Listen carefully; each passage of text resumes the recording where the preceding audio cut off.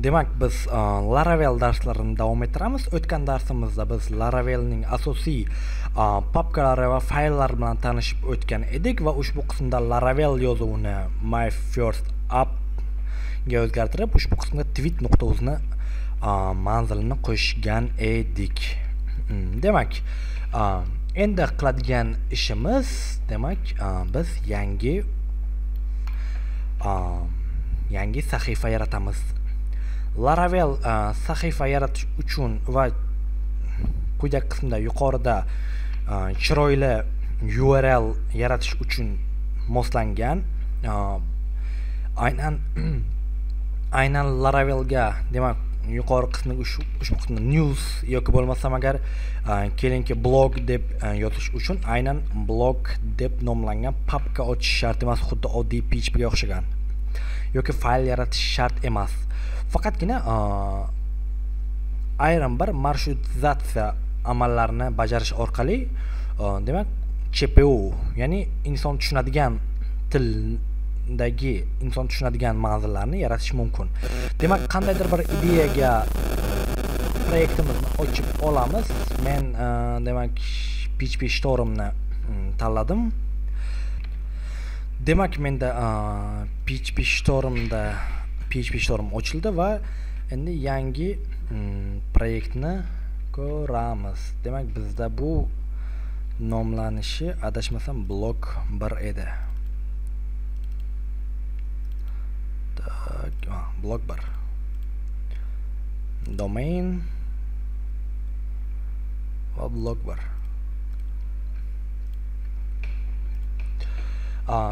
Ushbu php storm bir oy bepul trial demo versiyada ishlatib ko'rishga ruxsat beradi va keyinchalik mm, pullik siz ushbu litsenziyani sotib olishingiz yoki bo'lmasam qandaydir bir bepul idealardan ideal studio code ho'p aka. Yodingizda bo'lsa aynan aytib o'tganimdek chiroyli odam tushunadigan urllar router yordamida amalga oshiriladi va bizda ko'rib turganingizdek routers papkasi mavjud va biz buni ichidagi web papkasini ochamiz. Mana ko'rib turganingizdek quyidagicha yaratilgan va ushbu qismdagi quyidagi belgi bu aynan drop belgisi bu bosh sahifa ekanligini bildiradi. Ya'ni bosh sahifaga welcome shabloni. Ushbu resurs viewsda ko'radigan bo'lsak mana. Mana my first app. Welcome. Aynan shu web phpdagi va biz endi kelingki o'zimizcha qandaydir bir mm, yangi sahifa yaratib ko'ramiz. Kelingki route. Get. Um, search in news. What?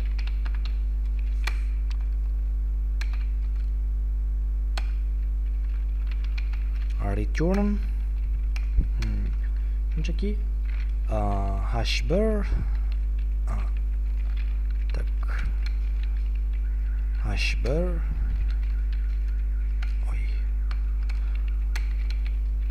h1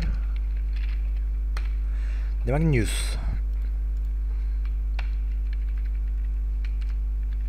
va albatta nuqta vergul. Va endi kelingki news manziliga kirib ko'ramiz qani bizga nima bo'lar ekan? News. Mana ko'rib news. Ya'ni ushbu return qilmoqda. Endi biz e, alohida bitta fayl yaratish uchun ushbu views papkasini ichiga demak bitta yangi fayl yaratamiz. news nuqta blade nuqta php va xuddi mana shu amalni agarda hozir buni исходный kodini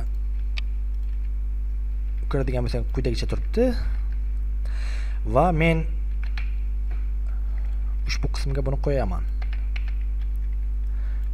Va news faylni chaqiraman. Mana ko'rib turganingizdek. Yuqorida dokument so'zi paydo bo'ldi va mana. Chaqirib oldi. Savol tug'ilishi mumkin. Demak bu yerda yuzlab minglab shablonlarni qo'ysak agar qandaydir bir qo'shilib ketish chalkashib ketish holati yuzaga kelishi mumkin degan. Buning yo'li juda ham oson yangi papka hosil qilish va news bo'limini ya'ni yangiliklar bo'limini barcha fayllarni ushbu qismga yaratish mumkin. Va men kelingki ushbu newsni olib tashladim. Mana ko'rib turganingiz news papkasini ichiga news blade tushdi va ko'radigan bo'lsak menda endi albatta xatolik beradi. Mana ko'rib turganingizdek view not found ya'ni topilmadi. Va biz buni toptirishimiz uchun aynan news view papkasini news papkasini ichidagi aynan news blade php ekanligini aytishimiz uchun biz kelingki ushbu qismda bunday qilamiz buni mm, yana bitta fayl ochamiz uni nomlaymiz show nuqta blade nuqta php deb va так show H1 show. Va nima qilamiz endi biz? News papkasini ichidagi show. Blade php ni olsin mana. Demak nuqta show. Va ko'radigan bo'lsak mana ko'rib turganingizdek show. Bu yerda hech qanaqa nuqta php yoki nuqta blade deb yozish shart ham emas. Mana ko'rib turganingizdek olmoqda.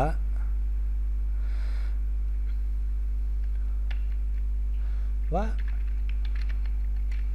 mana. Ho'p mm, biz demak yangi mm, sahifa yaratishni aniqrog'i yangi e, router yaratishni va unga yangi e, view yaratishni ko'rib chiqdik. E, ushbu demak barcha routerlar quyidagi web nuqta php da amalga oshiriladi va ushbu web nuqta php avtomatik holatda proyekt ishga tushgan holatda avtomatik yuklanadi ya'ni avto load bo'ladi. Kelingki endi quyidagicha qilamiz show nuqta blade nuqta php ga misol uchun show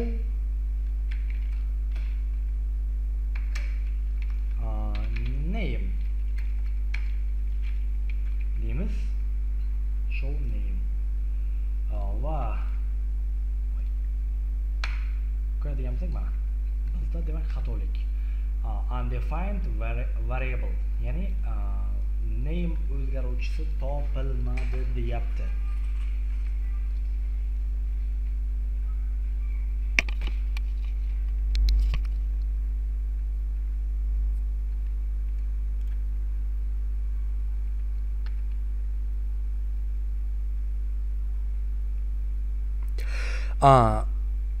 Birozgina uzr so'rayman menda mikrofon ozgina uzoqroqda ekan va men ushbu qismda nima qildim? Ushbu qismga demak show bladega name o'zgaruvchisini showdan so'ng yozdim. Mana ko'rib turganingizdek.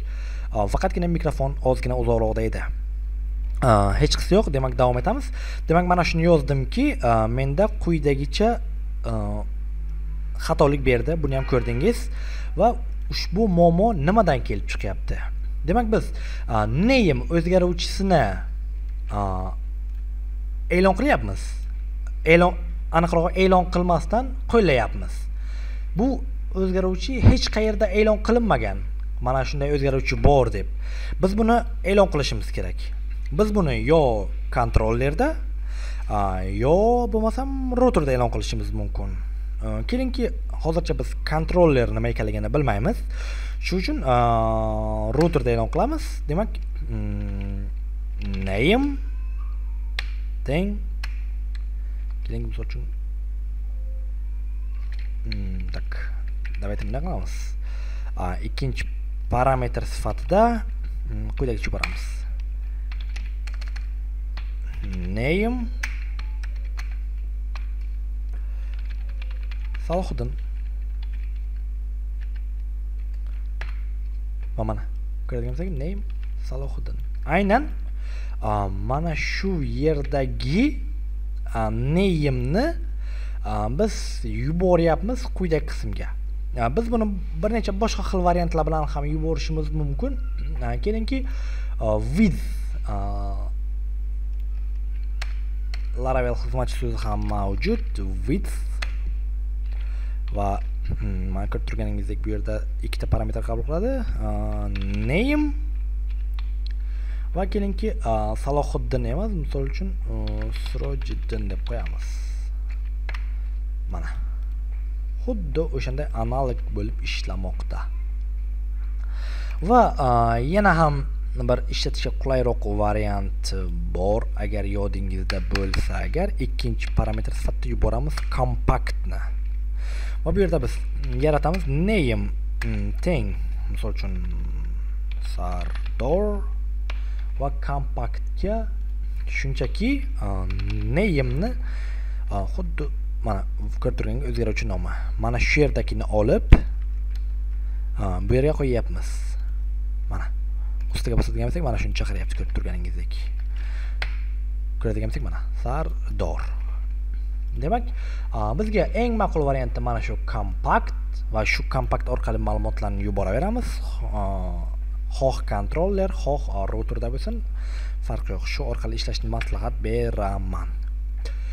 Kelingki agarda bizda bitta emas bir necha o'zgaruvchilar ya'ni massiv holatida bo'lsa qanday bo'ladi? Hmm, Kelingki misol uchun hmm, mevalar fruktis bo'lsin. Fruktis endi inglizchaga по моему shunday yoziladi. Hmm, birinchisi olma. Keyingisi orange apelsin. Banan. Va hmm, hozircha shu. Va men buni jo'nataman. Jo'natganimda ushbu qismga demak shunday qilishim kerak. Shunchaki fru ts deb yozsam bu yerga menga hmm, mana oy tak ts a. Tak. Mana uh, array to string uh, conversion deyapti ya'ni massivni string holatiga o'zgartirib bo'lmaydi demoqda. Biz buni quyidagicha ko'rishimiz mumkin. Hozir ko'ramiz. Tak printer fructs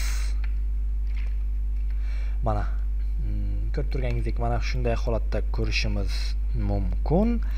Ammo bizga shunday qandaydir qilib sikl holatda chiqarishimiz kerak. Buning uchun bizga hmm, bunday qilamiz show. Frukti deb yozib qo'yamiz shunchaki va bu bizga bunday chiqib o'tirsa va tag tagidan hmm, ul li. Va albatta for each for each frukti s frukti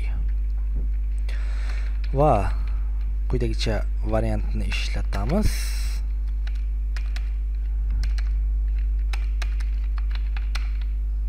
And for each mana 3 ta demak. Va hmm,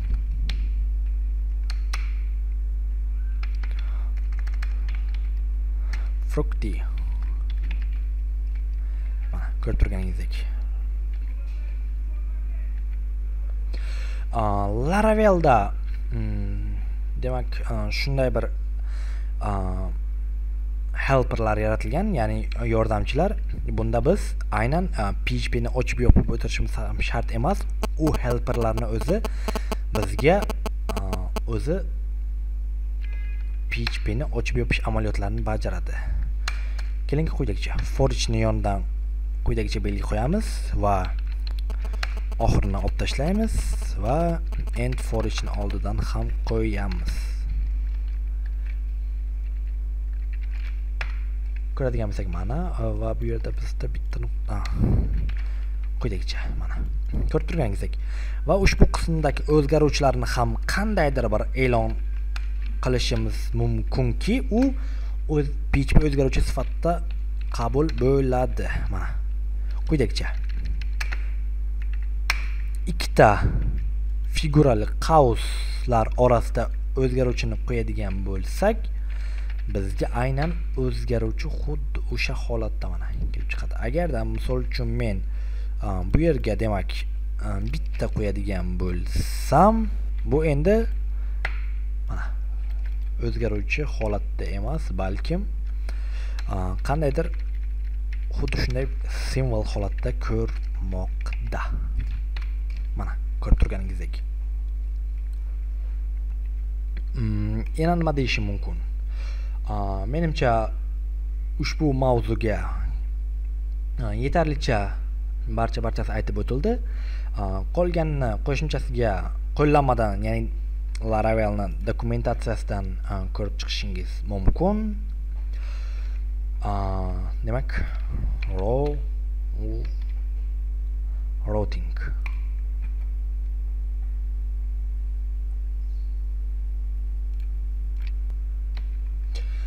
bu yerda mana barcha barcha barchasi juda ham tushunarli qilib mm, yozilgan. Bularni endi o'ndan yuzdan bir qismini aytib ketayapmiz aytib o'tganimdek e, video dars web developer blog videolariga analog o'zbekcha holatda yaratilmoqda.